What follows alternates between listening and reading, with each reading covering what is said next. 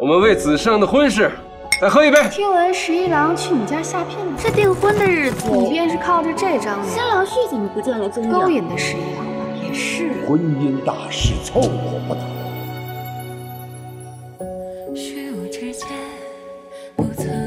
究竟打算何时才肯放过我？你就这么怕见我吗？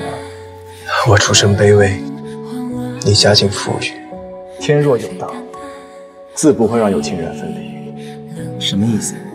你可有听说关于我的故事？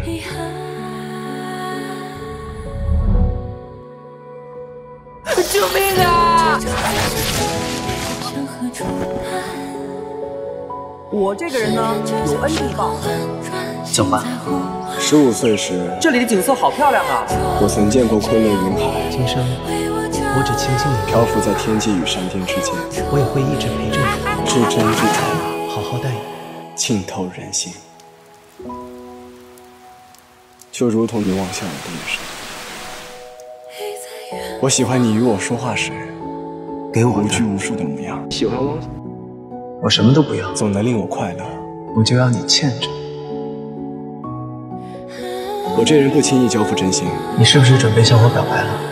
但一旦交付了，其实我们便不会再回头。爱慕发生的时候，会让人呼吸急促，感觉到兴奋。你这几日总是跟着我，可是有什么话要说？这个你应该知道。我会纯真无聊。很奇怪，是不是看上我了？怎么可能？你想多了。为什么会有这种感觉？那我问你，心愿无否？你猜啊？我实在是想你，先过来去。你要记住，我喜欢你。我还以为是你先招惹我的。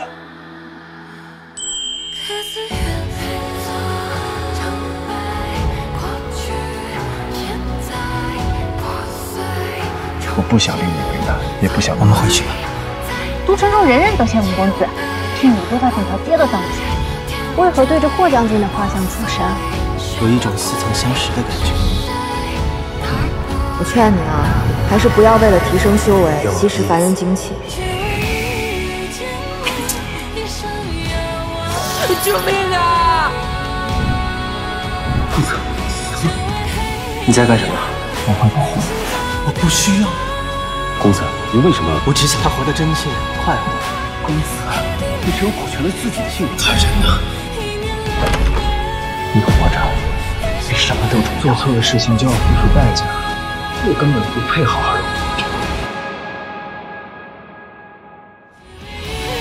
你为何要骗我？我不会让你承受当年的痛楚。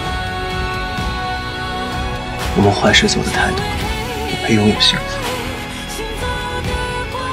因此为何如此太大？耳鬓厮磨才叫相伴。听不懂。从此以后，我的若我们真是两个普通的人，也许这简单的幸福就能够唾手可得。